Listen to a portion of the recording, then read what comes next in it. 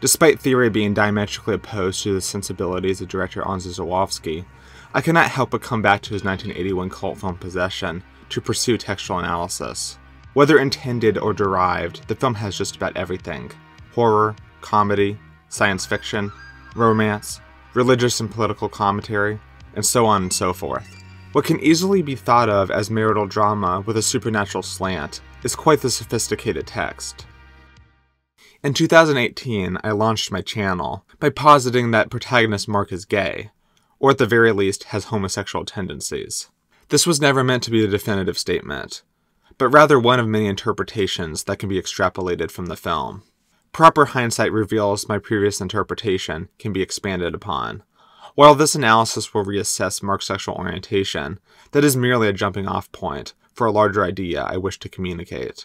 That being, how possession treats the construction of social identities, and in turn, what it says about them. This is Style is Substance. Welcome to my ongoing analysis of possession.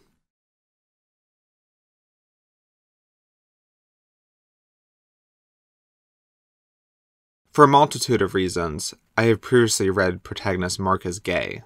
To reiterate, the way in which he touches his son Bob is the same as the way he touches his wife Anna, thus confirming that he more or less views the two equally, that is, as members of the traditional family structure that he desperately tries preserving, without any clear sexual attraction. Despite this, Mark feels he must fulfill traditional patriarchal duties by engaging in sexual intercourse with maternal figures Anna and her doppelganger Helen. But he becomes relieved once Helen assures that he doesn't need to, suggesting that he may lack the heterosexuality that is expected of him. You don't have to make love to me.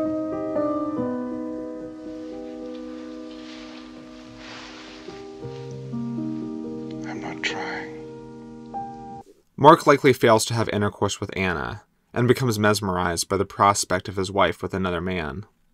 The scenes featuring Heinrich are filled to the brim with overt homoerotic implications. Mark may want to kill him, but he also wants to be with him. Okay, I like you. Mark's new idealistic self manifests in the xenomorphic creature of divine origin. As a transformation takes place, the overtly gay detective and his lover are killed, as is Heinrich, thereby wiping out the non heteronormative influences in Mark's life. Following a spiritual awakening and gay conversion, Mark successfully sleeps with his wife, but eventually finds himself at odds with what has become of him. His identity is stripped away from him in favor of a devilish lie, just as Anna's identity had been stripped away from her in their marriage for some time. That is, until her emancipation and subsequent replacement by her idealized form Helen. The artifice of normalcy is to be distrusted, which is why Bob senses wrong in the end, just moments before apocalyptic disaster. Please don't open! Don't open it! The familiar traditions we value and preserve can only go so far. If Mark is indeed gay, he sacrifices his own identity to preserve this possessive structure, one that oppresses him and his wife. Mark and Anna are deprived of their identities, the things that make them unique, and are thereby rendered as mere possessions, belonging to greater forces at play.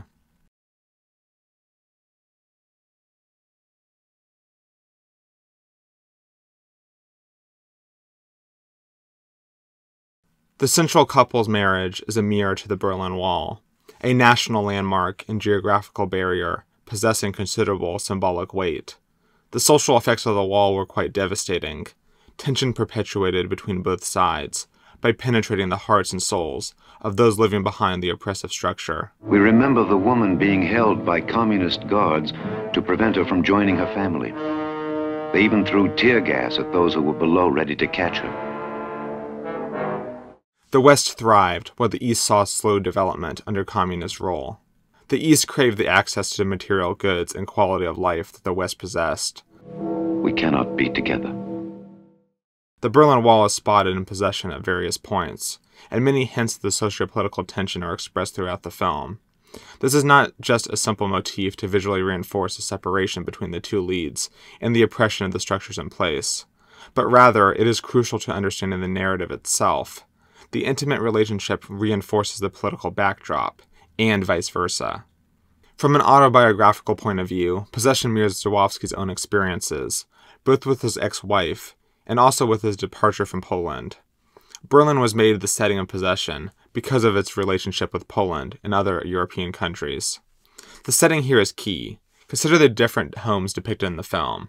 First, there is a fairly modern apartment Helen and Mark live in, and then the beaten down and likely abandoned old house where the creature is hidden. Both are located next to the Berlin Wall, on opposite sides, and this juxtaposition showcases the stark differences between living conditions.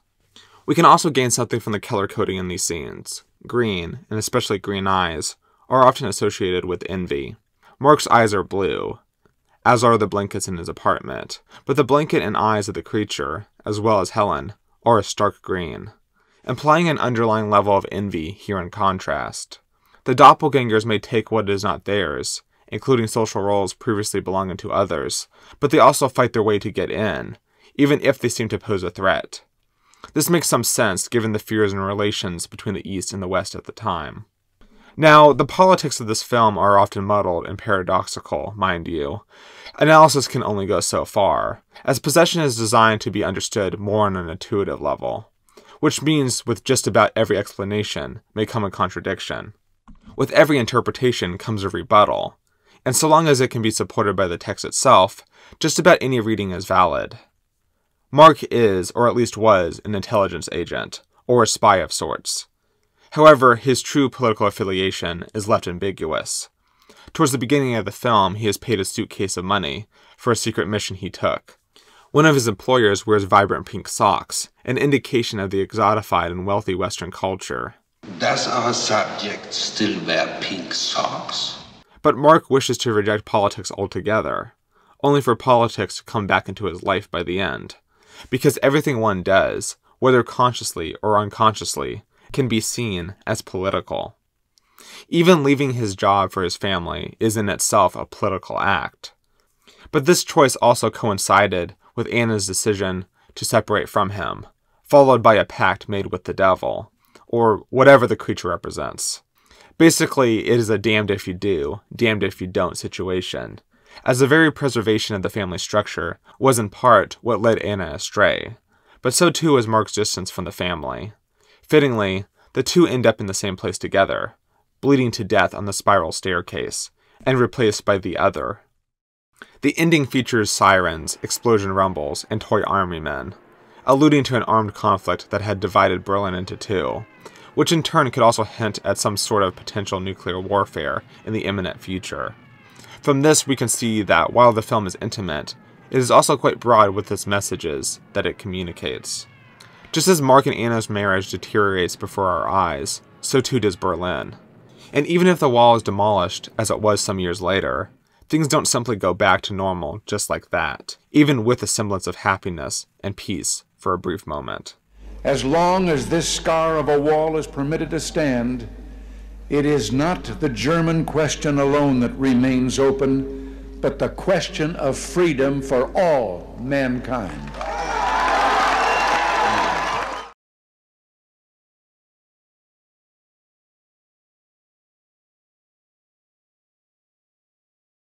Mark's efforts to leave work in favor of returning to an equally political structure may still be noble. That is, at least when it comes to raising Bob. Whether he is a good parent at the core is definitely up for debate, but it should be quite obvious that he does love Bob and wants to take care of him the best that he can. In Anna's absence, he invites Margit, and then later Helen, to replace her. Though for as good a familiar figure as Helen may be, embodying that role would ultimately turn her into an idealized possession, an asset for the family unit. In some respects, Mark's conservative longing to uphold this patriarchal structure is indicative of toxic masculinity. Whether that is specific to him as a person or simply representative of the ideas of sex specific roles ascribed to the society he lives in. His efforts to persuade Anna are simply compromises to maintain the nuclear family, and are not at first sincere attempts at reaching mutual understanding. To him, she is a possession of sorts, a cog in this clock. But it is a clock on a time bomb, ticking down the minutes until destruction. Mark's insecurity, misogyny, and projection get in the way of viewing Anna as anything more than a possession, which is partially what threw a wrench in their relationship in the first place. Incompatibility on a sexual level may, or may not, simply be a symptom of this hyperpossessive role, rather than a mere indication of homosexuality, as I have previously postulated. It is not until watching Heinrich's videotape that Mark begins to see things from Anna's point of view and acts according to her will. Once he follows her lead, trading the supposed patriarchy for a short lived matriarchy, Mark loses his sense of identity, just as she had lost hers when following his lead. Anna was once seen with blood pouring from her mouth at the hands of her husband, but by the end, something similar happens to Mark. The two are destined to hurt each other, and the relationship is destined to fail. But that's largely because there are outside forces influencing and harming the two, and taking control of every aspect of their private lives.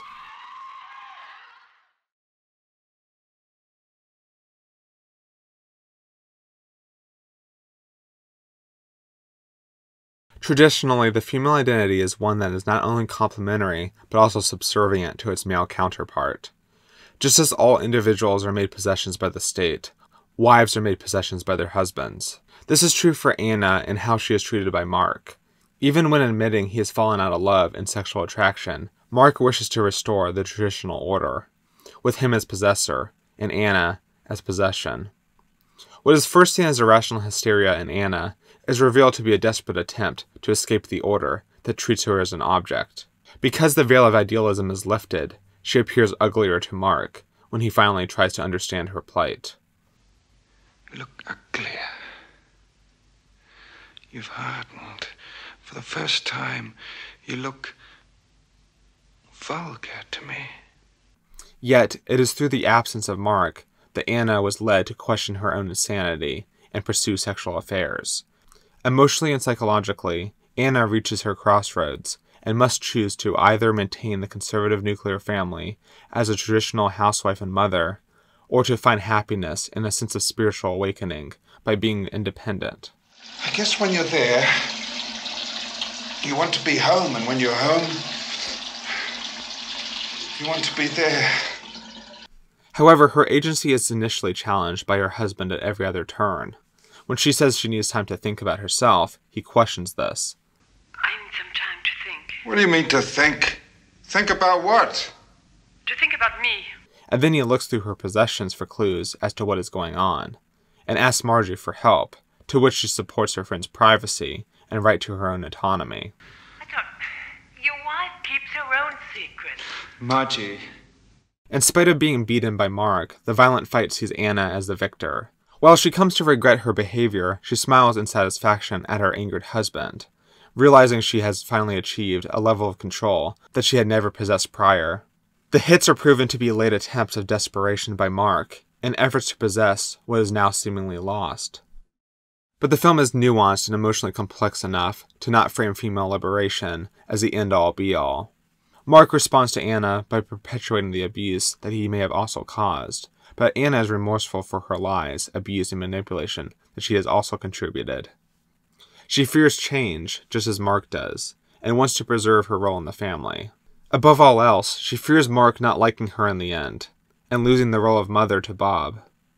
The film's paradoxical construction lends itself susceptible to claims of being either a feminist or misogynist text. Either way, it spotlights both the positive and negative underpinnings of traditional relationships and gender roles, while granting darkness and dignity to its lead characters. A highlight scene in this respect is when Mark watches Heinrich's videotape and comes to understand her more. She reveals that she is with Heinrich because he says I for her, and seemingly attempts to understand her on an emotional and spiritual level, allowing for her to maintain a sense of control and security in a world where she is otherwise an abandoned possession. This desire to possess is made explicit in how she instructs a student in her dance class to bend to a point past exhaustion and pain. She rationalizes the harm she has caused as a life lesson, but she is clearly projecting her own struggles out on the poor girl. I can do as well. I can be better. I'm the best. Only in this case can she become success. Nobody taught me that.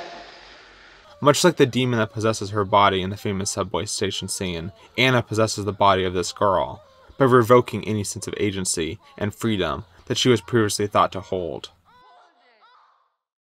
It is also a lack of agency that Mark finds comfort in, as he explains to Helen moments before bringing her into the bedroom. She says he views freedom as evil, but he says a lack of freedom is most extraordinary. Helen ostensibly serves as the ideal housewife, an alternative to Anna in Mark's eyes, but that does not necessarily mean that she lacks individual depth. On the contrary, the idealism underpinning Helen is marked with a level of individual agency that was hardly granted to Anna at all. Mark respects her individualism largely because he does not yet view her as his possession, which is why he apologizes for touching her upon their first meeting. What? I'm so sorry, it's impossible. With this in mind, perhaps the true idealized version of Anna is, in fact, one that is not possessed, and one that is to be seen and preserved through the doppelganger as a pure and innocent Helen. Now, Helen's individualism is complicated, as it relies on a balance of liberation and traditionalism.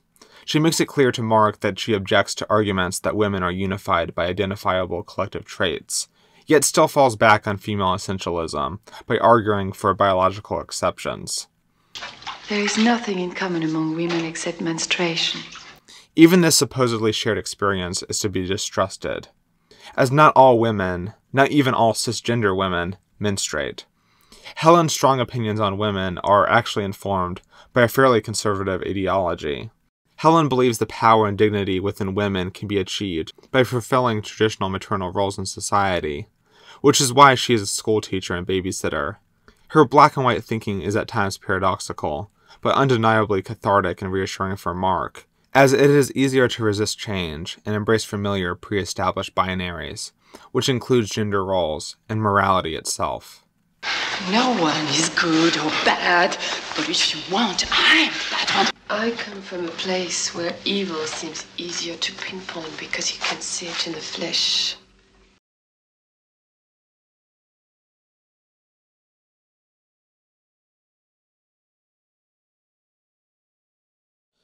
In contrast to gender essentialism, possession suggests something more complicated and fluid within its subtle subversions of recognized truths. This is the case for sexual orientation, as well as gender identity. Just as Mark may not be entirely heterosexual, he may not be entirely male either. In fact, a case can be made that Mark is indeed a woman. Heinrich even outright says so. You are not a man, Mark, you're a woman. I would not necessarily go so far as to call Mark a woman myself, as I find more value in arguing for something in between, outside of, or in opposition to, the traditional male female binary. After all, the stability of gender, much like orientation, is something that is asked to be distrusted at various points in this film.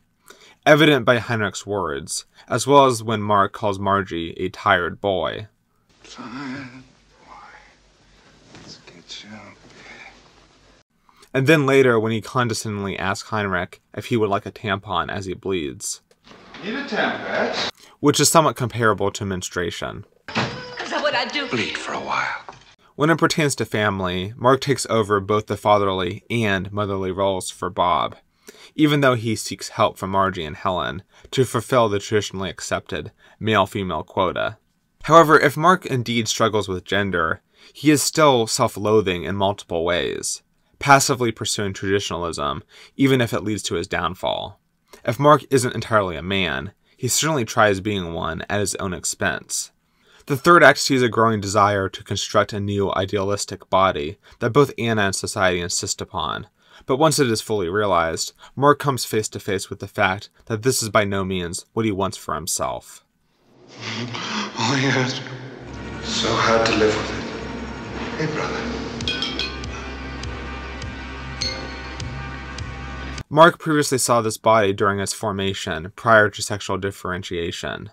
However, Anna always recognized this creature as male, as evident by the use of traditional male pronouns when she is visited by the detective's lover. He's very tired. He made love to me all night. Although she more or less hid this from Mark, opting instead for genderless it pronouns. It's in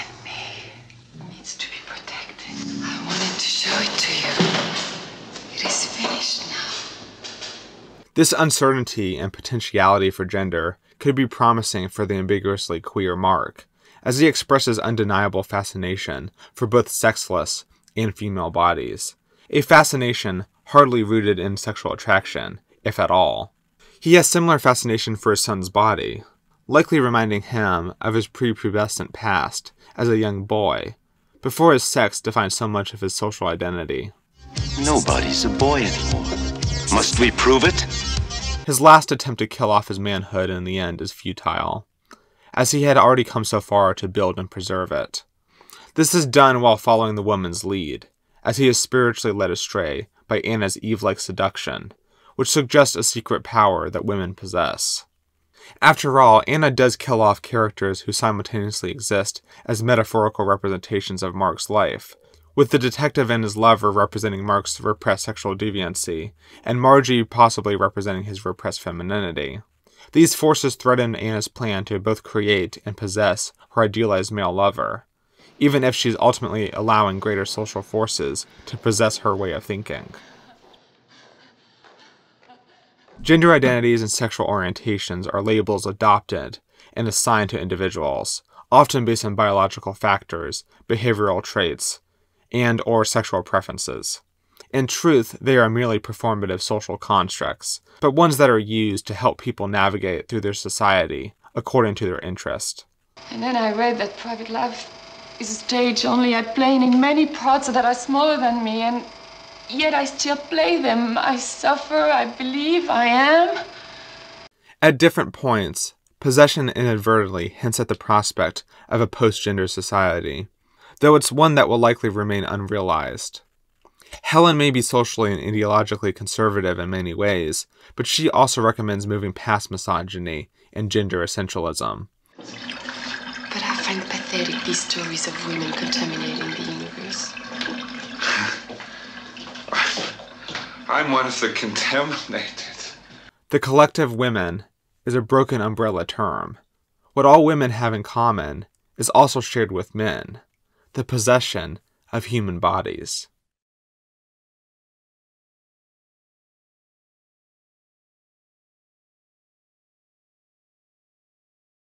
The film entertains the existence of souls, as well as a supernatural force that may or may not be God. This leads us to spiritual identity, something that the main characters pursue or avoid in various ways. Do you believe in God? The soul is thought to be separate from the body it is symbiotically linked to. In a way, the soul possesses the body, and or vice versa. Heinrich's mother notes that it would be nice to cling to the belief that the soul lives on after the body has perished.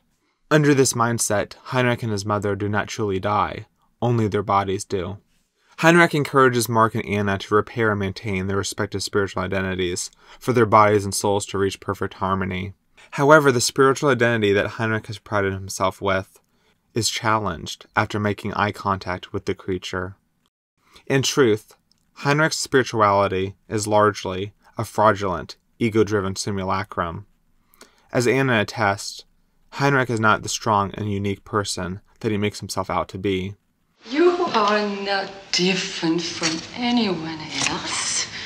We are all the same, but in different words, with different bodies, different versions, insects, meat. Anna's newfound bloodlust is a spiritual phenomenon, an effort to protect her faith while dissociating souls from their original bodies, as a direct response to her physical miscarriage of faith in the subway station.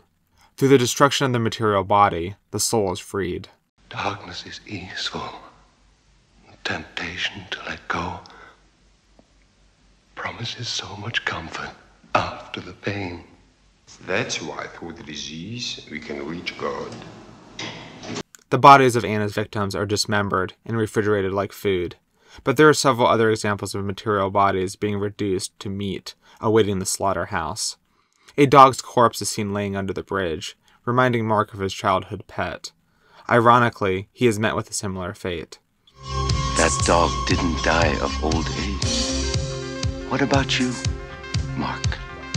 A head can be spotted on the East Berlin streets, kicked at the wall without second thought by a man from the West. With the Berlin Wall acting as a symbolic scar, the people are spiritually dehumanized and reduced to bodies of meat. Pain persists, but is hardly felt, as the people are nullified by the social conditions. that tell them everything is okay. It doesn't hurt.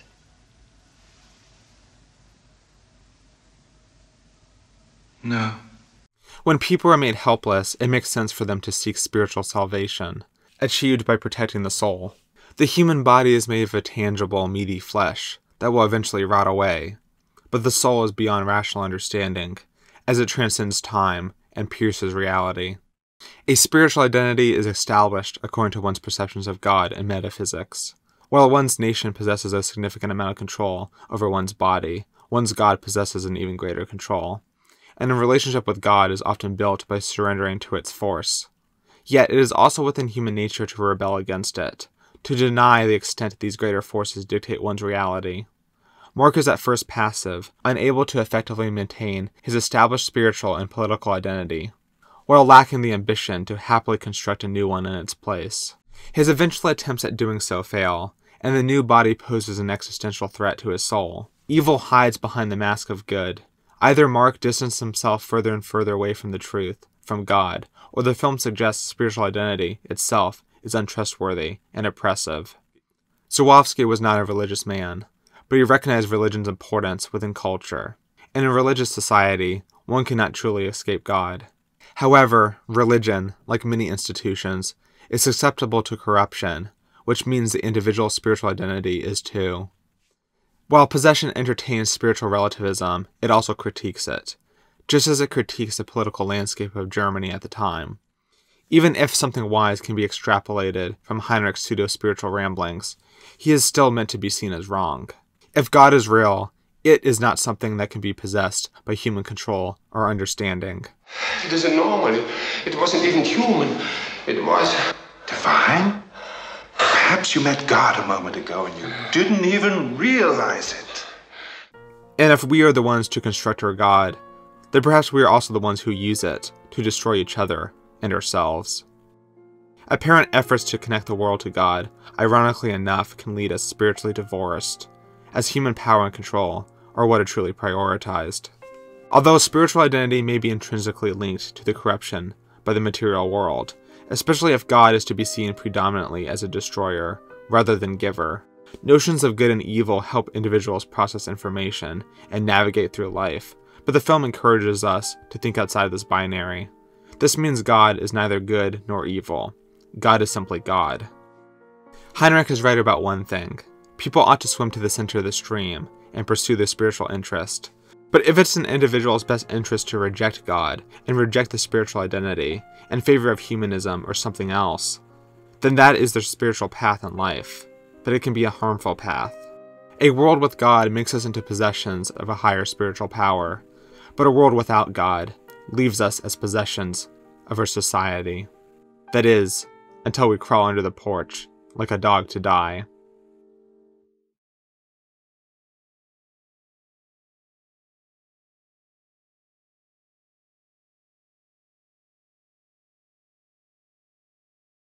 Possession ends on a bleak note, suggesting we possess little to no control over social conditions, with both attempts to preserve and redefine political and spiritual identities being fruitless. Even the identities we construct in accordance to our society and spiritual understanding restrict the level of freedom we could otherwise possess.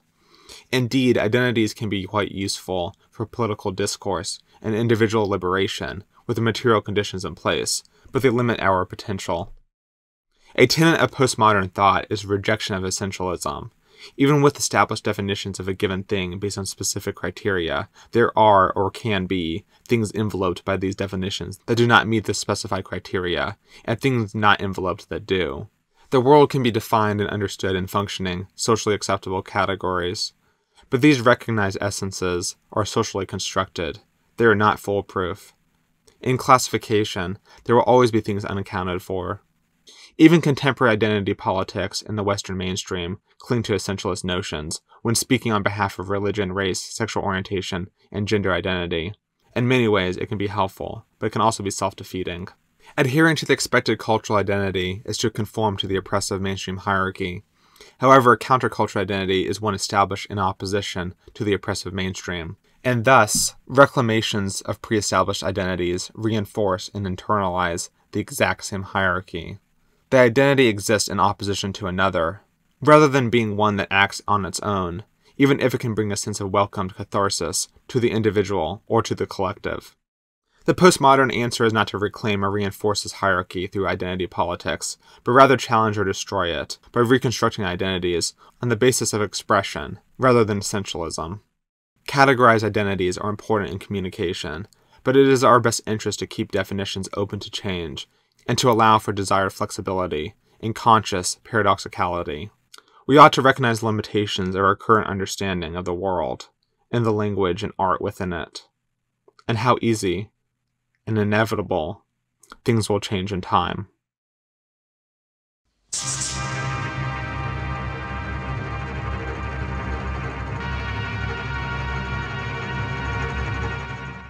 Special thanks to my patrons Pseudo Moron, Yakova George, Greg, and Kayla. Please let me know what you thought of this video in the comments below. If you like what I do, consider subscribing and sharing my work around. If you would like to financially support me and see your name in future videos, I do have a Patreon, so check that out. Thanks for watching.